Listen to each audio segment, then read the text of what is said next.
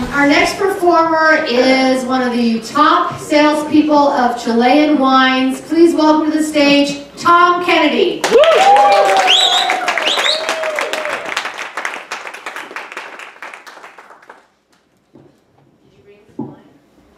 I have no wine with me at the moment. Maybe later. Thank you for coming. In my 20s, I got my last haircut. she was done in two minutes. Then she said, oh, I'll just charge the 295 beard and mustache rate. Thanks. Dad. I recently read The Power of Now.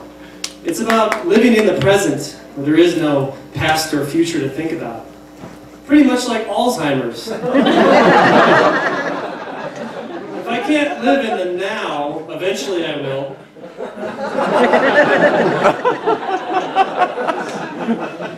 I saw a guy walking down the street carrying a gas can.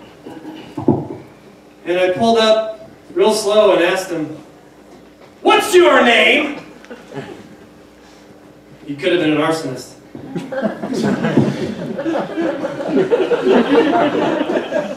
Companies that hire same-sex employees are really gay. I'm not gay, but for some reason my wife thinks it's cheating to sleep with another man.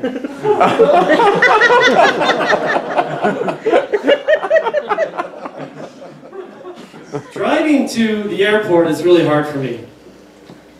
Put up those signs that say arrivals and departures is an ass. Those signs are for airplanes. They have nothing to do with me approaching in my car.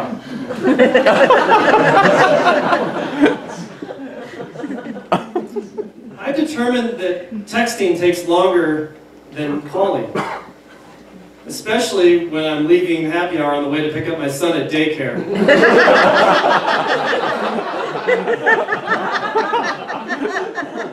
I'm in the McDonald's drive-thru still finishing a test. Drunk or not, who cares? I just don't want my son to see me text and drive. That's not cool. Whoever invented the fruit bowl is an idiot. They're like open casket funerals. At home, our bowl contains sweet potatoes, apples, crackers, a few pencils. so I, I reach for a sweet potato and my thumb goes right through its skin. Gross. I go for a second one and my entire hand comes out lukewarm. I'm not a mortician. Safeway knew they'd die on me. I hate shopping. Safeway sucks, and I was banned from King Supers because I had a problem with one of the self-checkout machines. Please wait for an attendant.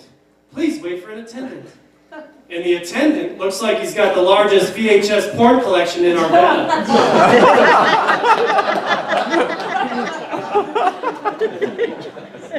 Walked out on my entire cart of groceries in road rage to Safeway to start shopping all over again. Welcome, valued customer. Please scan your first item.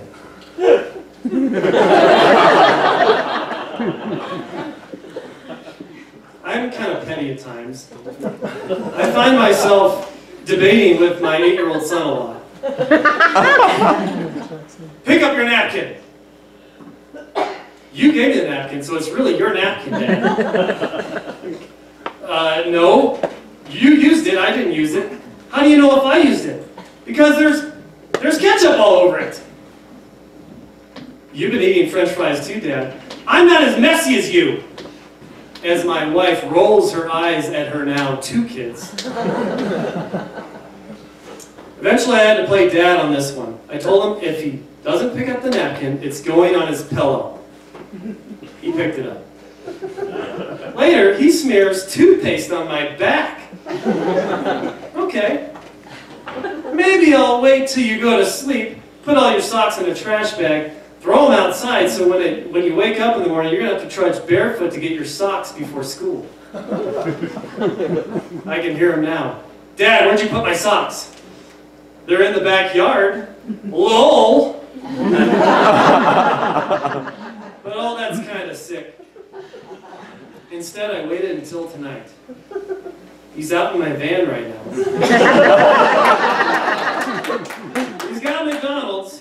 I gave him plenty of napkins. I told him I'm going to take him to the Lego movie. Maybe. It depends on what he thinks about the tube of crest I left on the dash. Thank you.